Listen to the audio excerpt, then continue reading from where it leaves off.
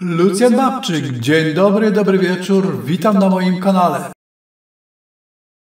Czas skończyć spacer po Polii Caryckiej. Grań piękna, dużo skałek, ładny widok.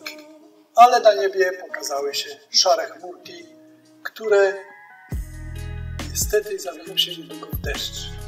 A więc schodzimy na dół na przełęcz Wiźniańską.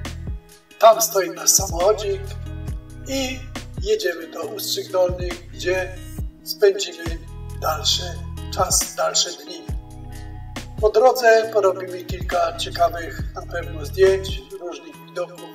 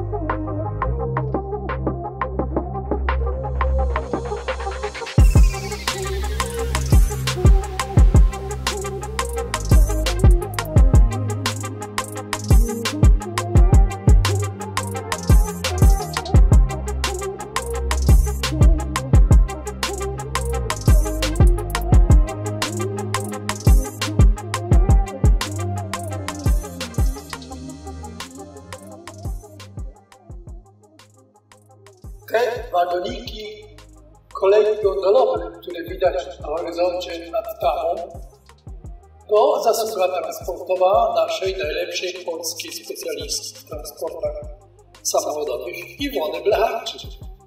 Pozdrawiam przy okazji.